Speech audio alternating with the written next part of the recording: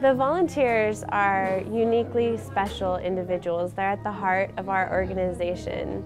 Every day they're teachers, mentors. They bring a genuine care for our community that is invaluable and we're so grateful to have them here.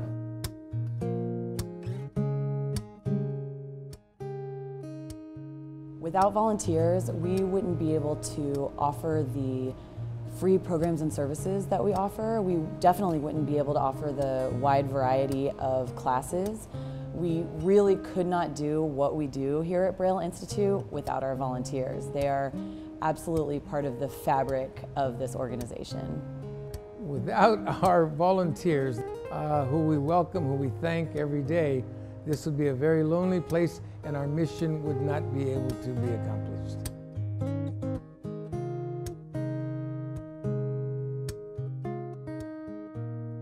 I love being here because it's such a positive feeling here.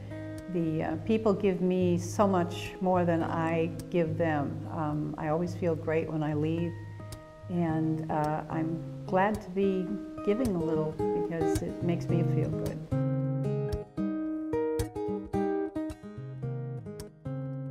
I started volunteering at the Braille Institute um, mostly because I just wanted some way to give back to my community. I love San Diego and I, after high school I just decided that there's there's this urge in me that wanted to do something to help out around here.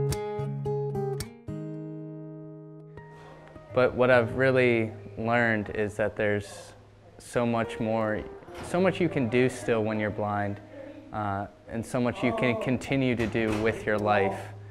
And so I, I don't really see that end point anymore.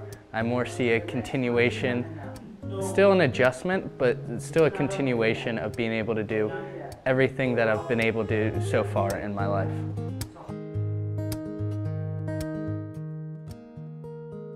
The people that you meet here, the people who are visually impaired, we we're not alone no more. We have support here with them. I mean, we can, if they want, we give our phone numbers to each other, and if we have problems, we, we call each other, we console each other.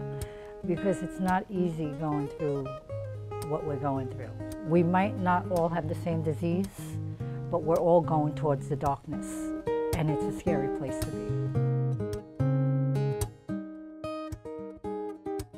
They bring a lot from the community to the Braille Institute and to people with limited vision.